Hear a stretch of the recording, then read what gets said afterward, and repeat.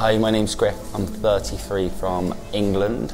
Um, I've recently flown to Turkey with Mono to get my teeth done. I'm really happy with them.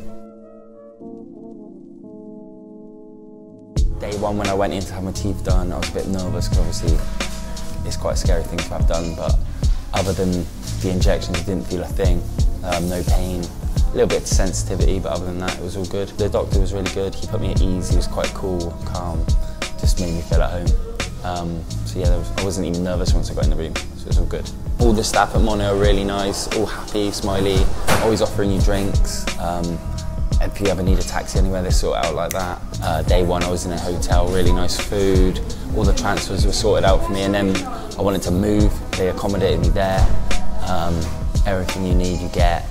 They're always at hand. Elena's been perfect, who's been looking after me. Um, yeah, I can't recommend it enough, to be fair told all my friends about it, they're all buzzing. So yeah, it's all good. I definitely recommend people coming to Mono to have anything done. Like I said, the staff here are brilliant.